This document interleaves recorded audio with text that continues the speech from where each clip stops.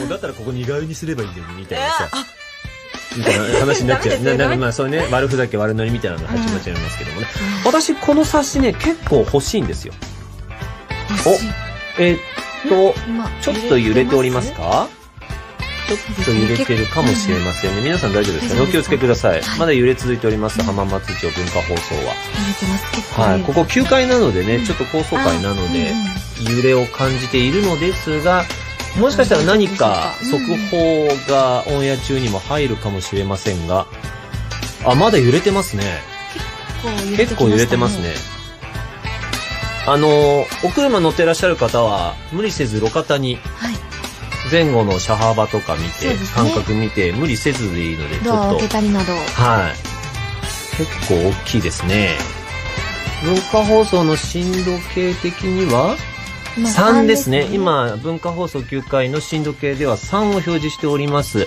皆さん大丈夫でしょうか？ね、ひなど、ああ、わかりました。まもなく、はい、はい速報の方が入りますので。はいはい。んはい。ということで、えー、お知らせの後はコムチャートベスト10の発表ですあ、今、あ来ました。はい。はい、はい、じゃあ。はい特よろしくお願いいたしますお願いしますはい、えーここで地震情報をまだ東京浜松町のスタジオも揺れを感じてますね。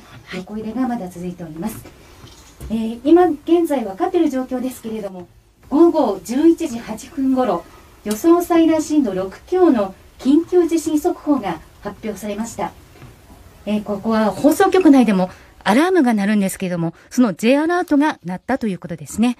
えー福島県沖で地震東北、関東、北陸で強い揺れを感じました。それではコムチャートベスト10の発表へ行きましょう。今週は2月7日から現在までの皆さんからのリクエストを中心に集計した最新チャートをご紹介していきます。では、発表です。